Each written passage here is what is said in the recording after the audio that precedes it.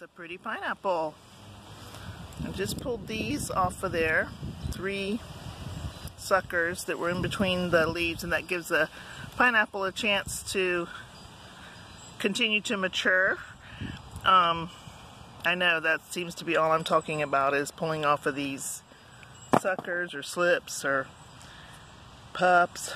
Um, but this looks like a, this looks like a, it looks like a pineapple. It looks ready to pick. It looks ready to eat. No, no, no. Do not go pick in that pineapple because it looks like a pineapple. That's the way you see them in the store. Green. Because they pick them green. And they gas them and they send them to the stores green and then they're yucky.